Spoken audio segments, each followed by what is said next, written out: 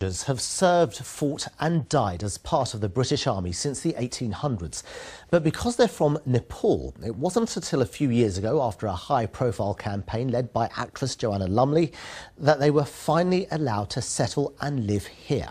But it's not always been easy to adjust to life in London, which is why a new project aims to help them. Aisha Baksh reports from Plumstead in southeast London.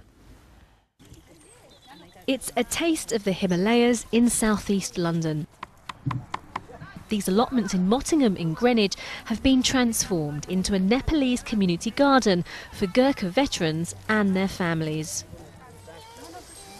Enna Gurung spent 16 years in the British Army and served all around the world, including Iraq. He's lived in Greenwich for just over five years. When I was in the army, uh, that time we, we do everything in the garden or everything we, we do. So I like to do now here, come here.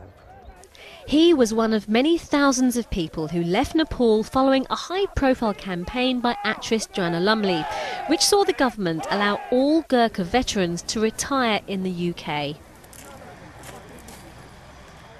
But many have struggled, particularly women, who found themselves suddenly widowed and alone. Gurkhas are still not entitled to the same pensions as other veterans, and many live in poverty. Sonia Thapa and her husband set up a charity to support them and created this garden with funding by the Ministry of Defence.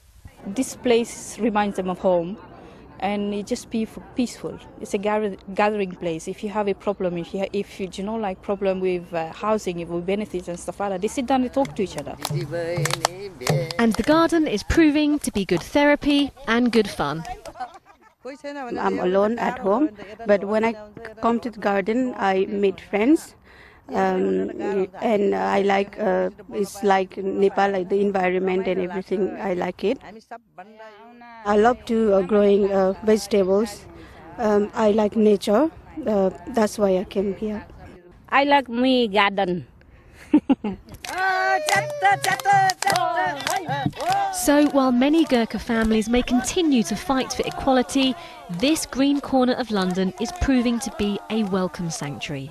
Aisha Baksh, BBC London News.